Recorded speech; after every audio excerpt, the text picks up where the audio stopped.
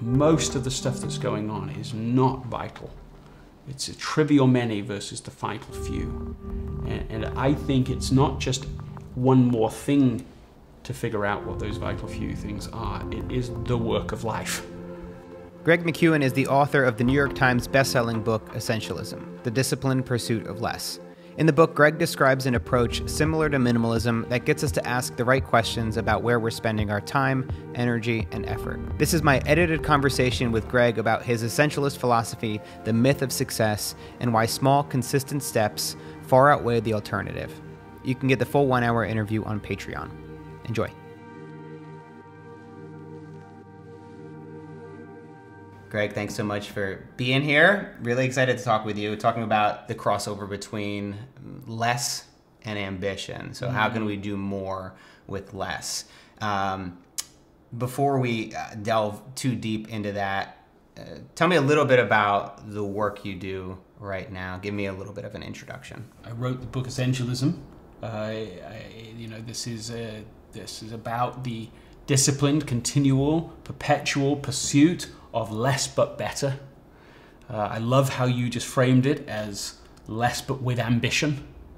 Uh, it, it's, it's about how to figure out what is essential, eliminate what's not, and create a system for making it as effortless as possible to do what you've identified as being very important. When I look at our culture, I would say in America, but I'm sure it's spread pretty far, there is this work hard, hustle, grind it out busyness that is promoted, and in a lot of ways, people. Uh, they enjoy attaching this label to themselves. I'm so busy. Oh, I'm just overwhelmed with all this stuff that I have to do. Uh, how do you view our hustle culture today? And is that something that, you, as you would describe it as? When I first came to America, I would ask people how they are. And uh, this is, we're talking almost 20 years ago. And they would say, uh, you know, they'd say, I'm great, I'm great. And it was almost like, I'm American, of course, I'm great. And, and I liked it. I liked this sort of inherent uh, optimism and, and positivity. I, I, connected to that, I related to that. Uh, but if you ask people now, as often as not, when you ask them how they are now, the first word will be busy. I, am busy. I'm so busy. I'm good. I'm good, but I'm busy. I'm busy, busy. I mean, this whole flavors of busy. And so I do think that something has changed. It's not just in our own minds, something has significant has changed. And even in those years, I think we've gone from being uh, connected to hyper-connected. And that, that's not a small change in the human condition. It, it shifts from a place where sometimes we had information overload. Yes, we've had that for a long time, but we're now in a state of opinion overload. And so this is particularly the kind of busyness that I think is, is most potentially harmful, is where we're busy not because we just have a sense of internal mission that matters, a sense of contribution that we want to make in the world. It's that we're busy because other people are busy. We're doing things because other people are doing stuff. We see them on social media. Oh, that person's doing this thing. They're in that place. They're pursuing this idea. And so keeping up with the Joneses has been a deep part of human nature, I'm sure, forever. But when you add into it this hyper connection, this hyper um, comparison, then I think it gets to the point where people do feel pretty crazy all the time. So that, that people feel busy but not productive. They feel stretched too thin at work or at home, but they don't feel a sense of accomplishment with it. They feel instead a, con a constant sense of other people hijacking uh, their agenda. You know, and so it, it, it, this is the this is the problem. The problem isn't that you have a lot to do. A, and uh, uh LA is obviously a very busy place. exactly. This is like the perfect moment for it. It's not just that you have a lot to do. It's it's that you're being defined by this constant reactive comparison. This, I think, is really the issue. It's a it's a badge of honor for a lot of people. The uh, I remember when I was getting started out as a filmmaker, and a lot of the people that I surrounded myself with, who I thought were good mentors, talked about how they will sleep when they're dead. That working hard is the most important thing. That if they only got four to five hours of sleep or less, that's okay because they got the, the job done. That you can smile and be happy once you have the money, once you have the success. Mm. Um, is this something that you've seen? Because you've worked with a lot of startup and tech companies. This kind of culture is it heightened there in in, the, in certain environments where maybe it's entrepreneurial driven or people are trying to create something for themselves? Yes, I mean, I think that, I mean, this is where I first observed the phenomenon, which is that working with Silicon Valley companies, I noticed that, um, you know, in the early days of a company, they would be, you know, maybe have a state of clarity, a certain clarity, a sense of this is what we're trying to do, and this is who we are, and this is who we aren't, and this is what we're not trying to do. And so they would have that clarity. If they got that clarity, it would drive success. And with the success would come an increase of options and opportunities. And that sounds like the right problem to have. That whole pattern, everything I just described. But it did, in fact, turn out to be a problem if all of that opportunity, those options, if it pulls you into what Jim Collins has called the undisciplined pursuit of more. And if these companies would fall into that problem, they would start to plateau in their progress or start to fail altogether. Now, that's true for companies and it's also true for individuals. The same pattern, the same problem. And so what I found was a sort of paradox of success. That success, if let, uh, uh, allowed to be undisciplined, would become a catalyst for failure. And, and that, that undermines everything. You, you, you've got people who are driven, capable, curious. They've got all the things perhaps they need to be able to break through to the next level, but they don't and it's because of this pattern. And so that's why essentialism's subtitle is the disciplined pursuit of less. It's because it's an antidote to that problem. That's the whole idea. And that we can become essentialists before we have to, before we start to fail altogether, before we see that we've given up all the things that mattered most for all the things that mattered least. You can act upon your life and upon your uh, desire to make a contribution uh, and, and become more discerning so that you can go from uh, a level of success and contribution to an even higher level of contribution. In the book, you say it's the disciplined pursuit of less but better. Yeah, it's a really important distinction. And I think that there are some people, perhaps Gary Vaynerchuk, who I haven't sat down to talk with yet, who would likely say it's the pursuit of more but better. As in, we don't have to do less. We can if we find out our path, what we're really passionate about, we can work even harder to get there. Is that something, and uh, this is just my assumption of maybe where his views are at. I could be totally wrong, yeah. but I think this is probably something that a lot of people would identify with.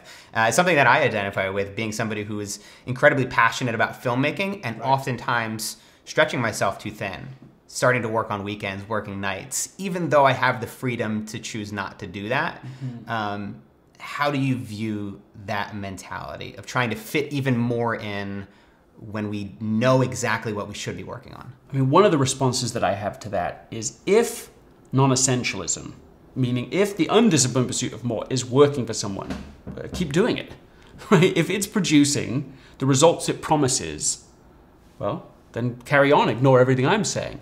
So, if non essentialism is producing breakthrough contribution, really meaningful relationships, a satisfying life, happiness in the moment, and a sense of mission for the future. I mean, if it's delivering on those things, keep doing it. The problem is that non essentialism doesn't, for most people, and I might even say anybody, deliver on its promise. So, so what it actually produces is short term, it can sort of present a, a short term burst of, of activity but it quickly becomes a diminishing return, right? So if you do the five hours a night, yeah, you can do five hours a night. You, you can do that for a few nights. But there's a point at which the discernment level starts to go down, the joy level goes starts to go down, and, and, and, and if your joy and discernment starts to go down, it means that you have less ability to pick the right next project. And so very quickly, you are falling into the pattern of plateauing. Yes, you're doing more, you're, do, you're, doing lots of things, and they're all interesting to you, but you're actually, what you're not noticing is that you're starting to lose the edge that you absolutely require, you must have in order to discern the next big level of contribution. I mean, I can I can speak to this in my in my own life in a variety of ways, but it, you know, one of the experiences that led me to really focus on this subject in this book was that I mean, you know, I got an email from uh, my colleague at the time said, "Look, Friday would be a very bad time for uh, your wife to have a baby." Because I, I, need you to be at this client meeting between one and two. And look, and I'm sure they were joking, and, and yet somehow I took it as a responsibility, a burden. Uh, you know, I got to navigate this, balance this. Uh, Friday comes along. That is when we're in the hospital. My wife's just had our daughter. We're we're you know, instead of being focused, I allow another passion, another interest, to confuse it. And so I go, to my shame, to the meeting. And even if some great thing had come from that meeting, which in fact it didn't, uh, surely and clearly uh, I made a fool's bargain. Uh, what I learned from that lesson is the simplest idea, which is if you don't prioritize your life, someone else will. And, and that's that idea of being heightened awareness of what the priority is and making sure that we aren't just busy pursuing lots of things, but that we are creating space to actually pause and discern and make sure that we're sleeping enough so that our discernment is intact so that we can keep on figuring out what is the most important contribution I can make. And so that's what I'm saying. I say there's an inherent trade off. When people are just, I'm so interested in this, I'm so passionate, I'm going to do more of everything. Yeah, there's an advantage to that for a time, perhaps. But you're giving up something along the way as well. And you have to be careful about what you're giving up.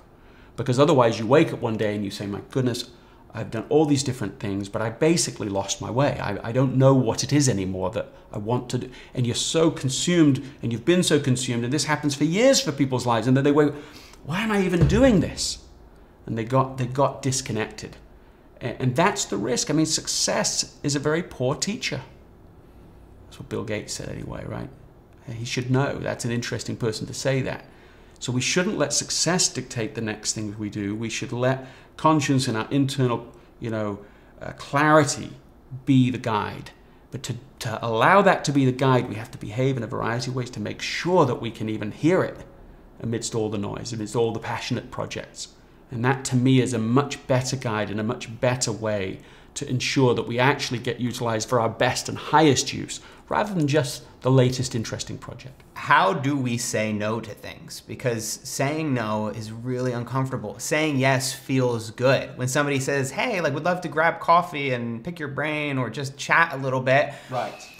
Saying yes leaves you feeling good, leaves them feeling good for the short term. In the long term, then, when it comes to that day when you have to meet up with them, you're like, oh, I'm already so busy. I yeah. don't have time to, to do this. So, how do we tactfully say no to people? I actually think the first thing you have to accept is that we are saying no all the time, and everybody is. What we are not aware of is that we are saying no. So we're just saying no in, an, in, in a, in a uh, you know, compulsive way.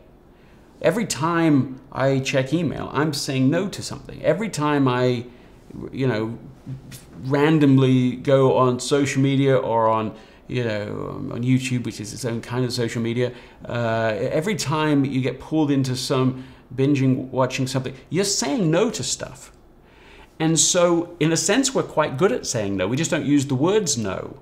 And so, we have to, in a way, apply that same logic to more important projects, more important work so that we just pause before saying, Yeah, I'm, I'm going to do that. We pause before going on social media. I mean, yes, we have to learn how to be able to communicate to other people, and, and maybe we'll get back to that. But, but I actually think the first thing we need to learn about saying no is, is, is just within ourselves. Do you find that sometimes you need to sprint, that you need to maybe put in a little bit more hours or tip the scale in one direction uh, to finish a project? or do you find that generally your balance is is in check? Well, I think that I think that what you I think my experience and my expectation is that unexpected things will come up. Like that is what my experience has taught me. You think it will be like X, but really there will be things you didn't plan for. And that's exactly why you have to create buffer in the system. That's why you should not take on every project you think you can do even if you're interested, even if it's aligned, even if, and I can name so many things like that for me that I've just gone. I mean, example, uh, executive coaching. I mean, coaching. I mean, there's a real demand for essentialism coaching. And, and I have requests in all sorts of ways for that. And, and I could list a whole line of other kinds of products and services that people will proactively ask for. And I feel tempted by all of them because I want to make a difference, because it aligns with so many of the things that I want to do.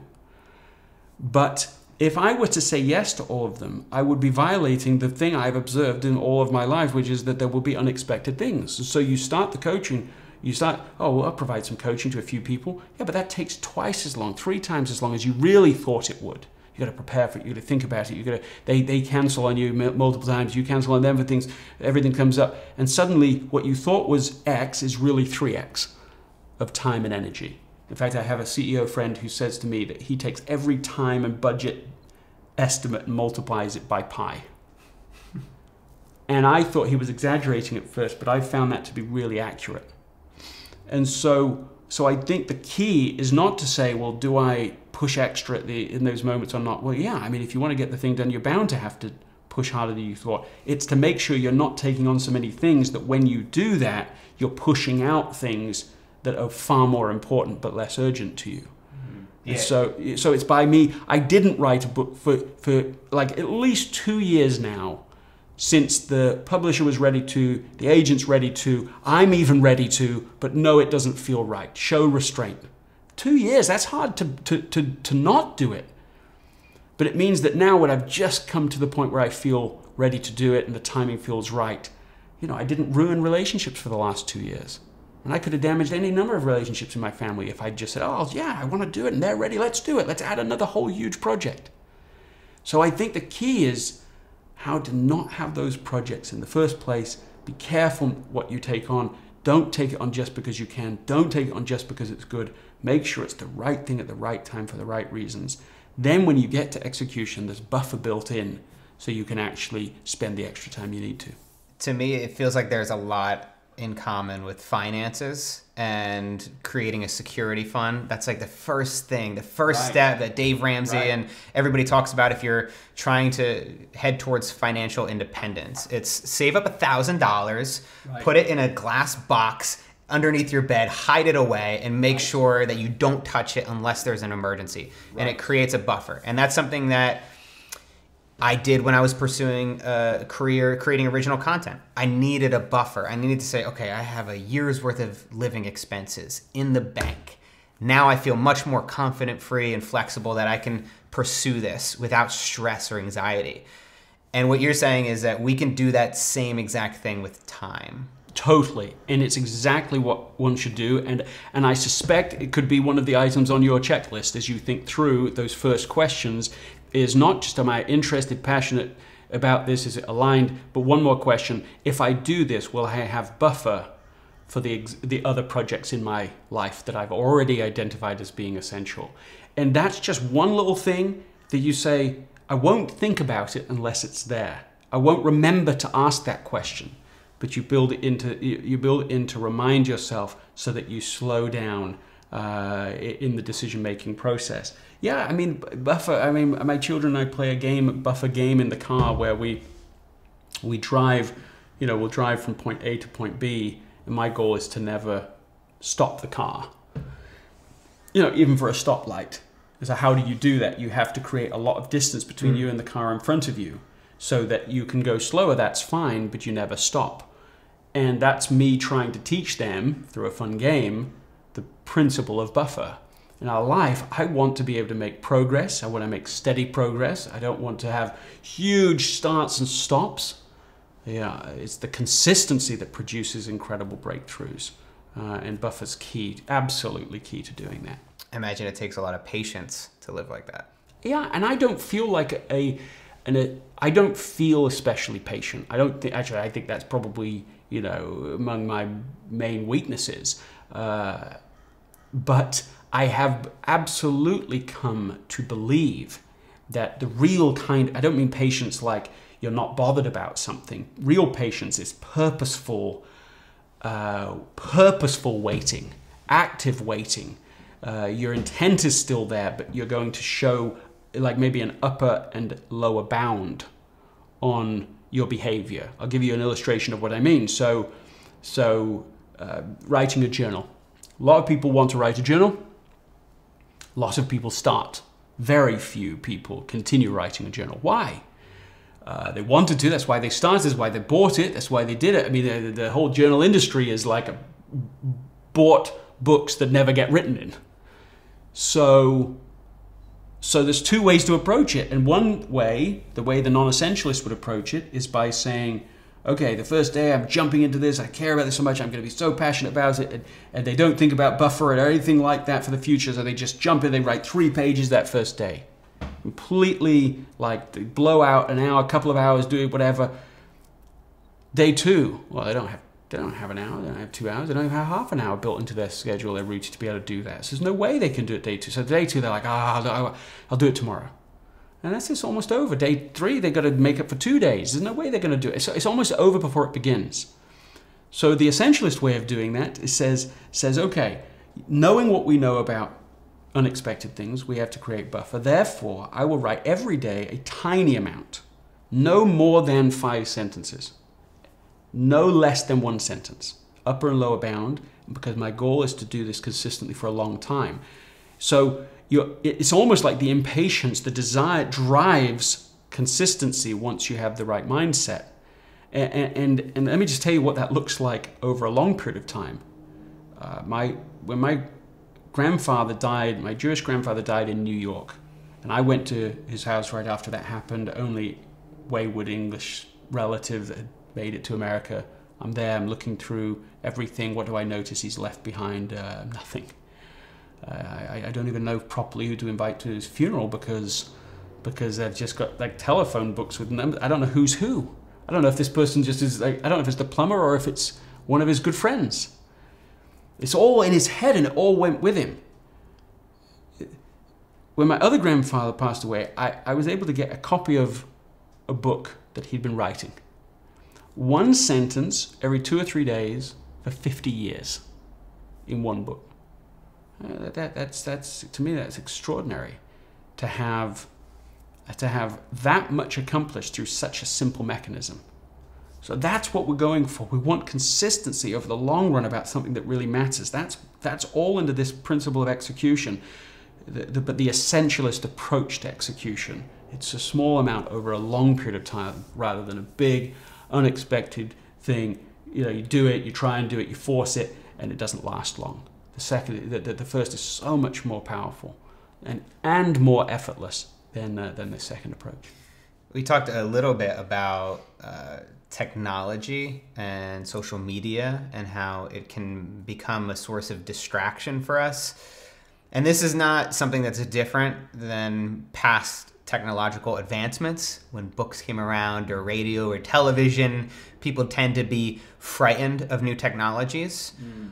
Is there something different about social media? And, and we even hinted at it at the beginning of the conversation with the busyness seems to be a little bit different than times past.